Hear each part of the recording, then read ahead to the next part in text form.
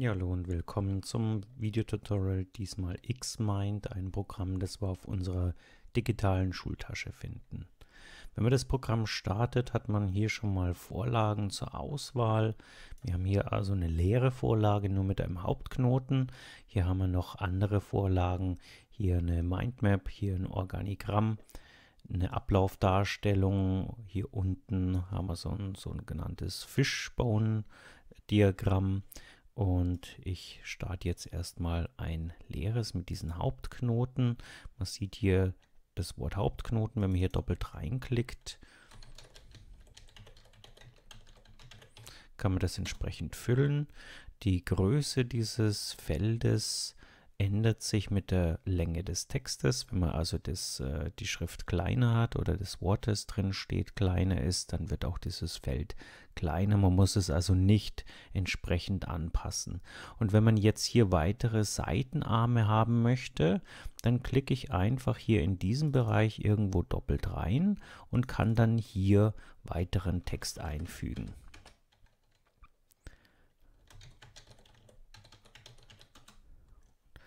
Wenn ich dieses Feld dann mit der Maus nehme und in die Nähe von einem anderen Feld schiebe, dann entsteht hier automatisch ein Arm und die beiden sind dann miteinander verknüpft.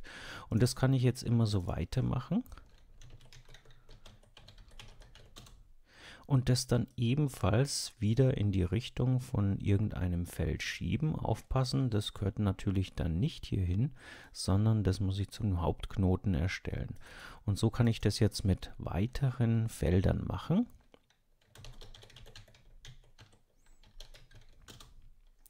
Das kommt natürlich hier unten hin.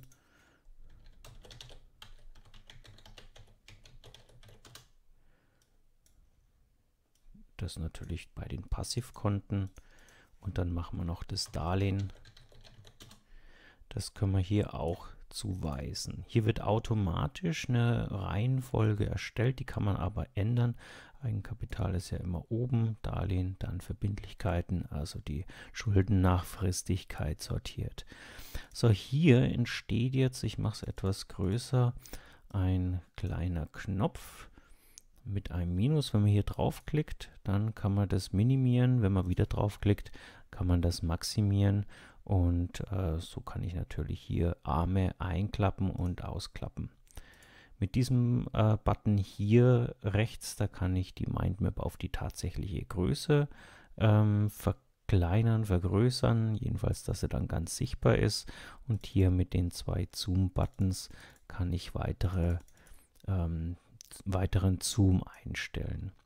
Was ich jetzt noch machen kann, ist eine Formatzuweisung. Wenn ich hier unten auf die entsprechenden Themen klicke, dann brauche ich hier nicht speziell jeweils diesen Hintergrund abändern.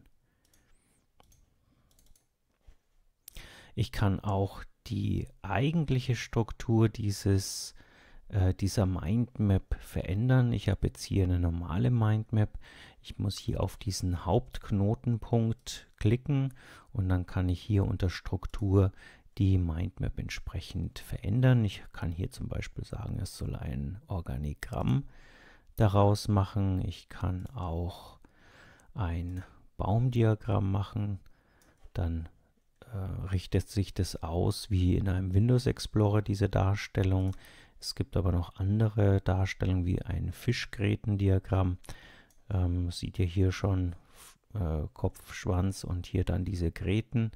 Genau so sieht es dann entsprechend aus und ich hätte noch die Möglichkeit, das als Matrix darzustellen und kann natürlich hier immer wieder neue Darstellungsarten auswählen, ohne dass ich jetzt großartig meine Struktur noch einmal neu aufbauen müsste. Es gibt noch weitere Möglichkeiten, wie ich mein meine Mindmap hier entsprechend ähm, äh, aufpeppen kann. Ich kann hier entsprechende Markierungen zum Beispiel einfügen. Äh, hier zum Beispiel, dazu muss ich natürlich ein Feld aktiviert haben, also einfügen, Markierungen. Dann habe ich hier zum Beispiel äh, Gesichter oder Flaggen oder hier Sterne, äh, die hier dann vorne entsprechend habe und dann nochmal abändern könnte. Das Ganze lässt sich natürlich auch ausdrucken, hier mit der Schaltfläche drucken. Hier kann ich dann auch sehen, wie das Ergebnis aussieht, was denn genau gedruckt wird, nur die Ränder, auch den Hintergrund, weil es ist auch möglich, hier einen entsprechenden Hintergrund zu setzen. Ich kann also hier, je nachdem, was hier immer angeklickt wird, ändert sich hier die, das, die Eigenschaftsanzeige und je nachdem, was ich hier dann auswähle, könnte hier sogar noch eine Legende anzeigen und dann wird hier entsprechende Legende eingefügt. Und wenn ich hier das Häkchen rausmache, ist das wieder weg. Aber zurück zum Hintergrundbild. Ich kann hier natürlich ein entsprechendes Hintergrundbild auswählen. Ich kann hier auch haben wir noch andere Sachen. Naja, das ist jetzt gerade nicht das richtige Thema. Und ich kann auch die Transparenz dieses Hintergrunds auch noch entsprechend einstellen.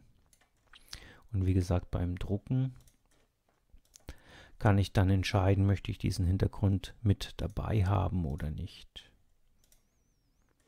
Drucker auswählen und dann mit Drucken entsprechend ausdrucken.